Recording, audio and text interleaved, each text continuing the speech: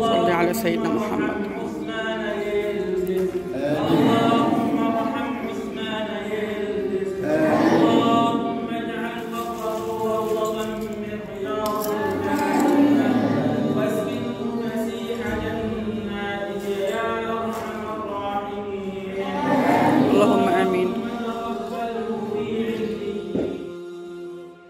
Ihr spendet für die Menschen und dank eurer Spenden bekommen diese hilfsbedürftigen Menschen Essen. Wir haben uns dieses Jahr extrem auf Kinder spezialisiert, teilweise fastende Kinder, teilweise nicht.